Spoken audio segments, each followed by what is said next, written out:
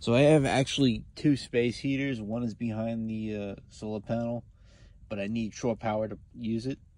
And the and the other one is uh, is in my drawer. It's a, a little ten dollar Walmart space heater, and uh, I use those never, unless it's like less than thirty degrees in the morning. But uh, I don't really need them as long as I put two hoodies on and three layers of clothes under my hoodie if it's like that cold. So I'll be fine, probably.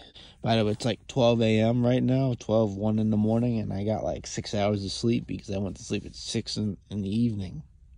Why did I go to sleep at 6 in the evening? Because I'm not used to the time zone here. I'm three hours uh, behind the time I'm used to.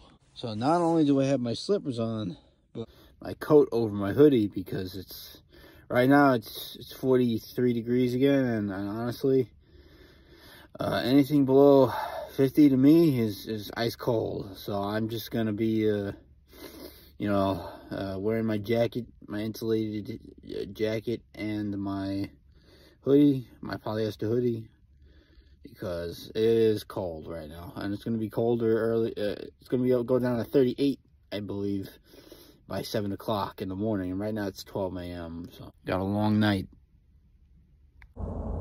Nice desert moon right there. It's giving us light in the desert.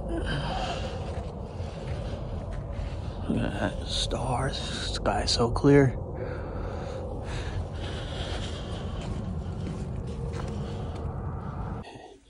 It's getting too cold in Quartzsite. I think I'm going to go to Lake Havasu instead at the Walmart in Parker before going to Lake Havasu to get some sleep at the Walmart in Lake Havasu right now. Just took a piss. Yep. Those people have those nice uh, 4x4 conversions. It looks like one of them is anyway. Just took a shower at Planet Fitness.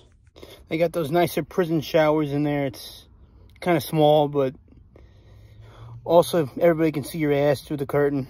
So Though most of the time I've, I've been in the men's locker room, there was women cleaning inside because I go there overnight sometimes.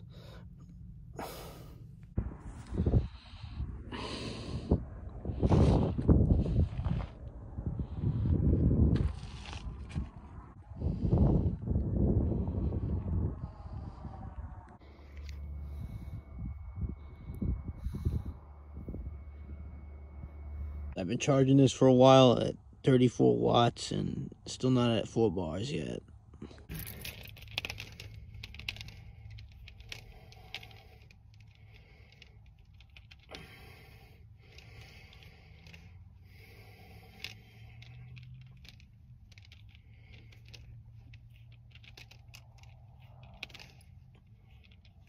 Finally got four bars of energy on my Bluetti right now. Took forever.